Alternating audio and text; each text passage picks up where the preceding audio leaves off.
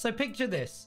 It's 2021 and you're wanting to build your first PC, which means you're going to need to get yourself one of these, a graphics card. The only problem is there are none. Let's talk about this. So yes, today we're going to be talking about the great graphics card shortage of 2020-21 and we're going to be explaining exactly why we're still seeing such a shortage in graphics cards available on the market right now and also how much longer we're expecting this to take place. Now, if you find anything from today's video helpful, please make sure to drop a like as it helps support the channel. And if you don't want to miss out on any future videos, then make sure to also drop that sub. If you want to get into things in a little bit more detail, feel free to come on by either my Discord or my Twitch streams. I stream every Monday to Thursday at 8 p.m. UK time, and we love to chat about things like this. So if you want to come by, you are more than welcome. But other than that, let's get into the GPUs.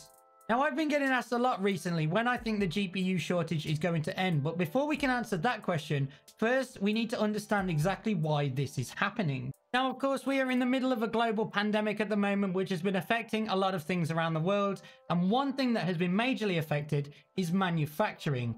And this has led to a global shortage of chips. Not this kind of chips, this kind of chips. Now, of course, companies like Nvidia, AMD, and Intel use these chips to make their tech. However, if there is a global shortage of chips, then they're not going to be able to manufacture the same amount of products which is now what is directly affecting the amount of GPUs which can currently be produced. As things around the world continue to fluctuate with the pandemic, we still don't know exactly when manufacturing is going to be able to get back up to full capacity. It has improved since last year, but we are still seeing a major backlog from when everything was shut down, which is still having a major effect on everything else, and it's going to continue to have a snowball effect for quite some time. Now, there is also a second reason that we are seeing such a shortage of graphics cards available on the market. During the same time period, we've seen a massive rise in the price and popularity of cryptocurrency like Bitcoin, which has had a major, major effect on the supply of graphics cards on the market, as cryptocurrency investors are buying up the whole available supply so that they can use them to mine cryptocurrency.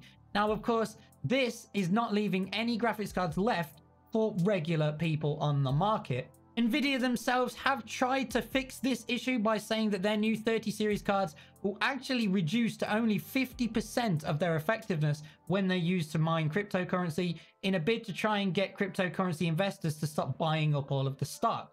Now this of course paired with the global chip shortage is the reason that we are seeing such a lack of graphics cards available for everyday users such as PC gamers.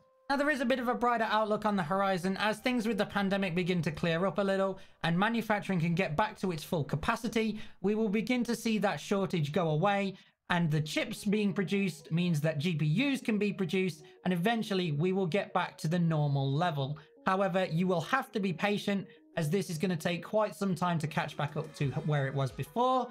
So I think that it is going to be at least the summer before we start to see things getting back to normal possibly even longer. We can't really predict anything like this because we don't know how it's going to turn out. We also don't know what's going to happen with the pandemic. So it all depends on different factors. But being optimistic, I would hope that things will be back to normal by the summer. So there you go. I hope you guys found that explanation very helpful. If you did, I would appreciate it if you could drop a like on the video. I am going to be doing a follow-up to this on how you still can get your hands on a graphics card for your PC. So if you don't want to miss out on that video, make sure to drop a sub on the channel and make sure those notifications are turned on as well. If you want to talk about any of this in more depth, then feel free to join my Discord server or head by one of my Twitch streams. Stream every Monday to Thursday, 8 p.m. So come on by and have a little bit of a chat. But other than that, I will catch you guys in the next video. I hope you have a lovely weekend and I will see you all later. Yeah. There are no nearby players. Okay. Oh god, I can't pull my wings out because I'm on the menu. Ah! Oh god! I, landed that pretty flawlessly for saying, oh, never mind.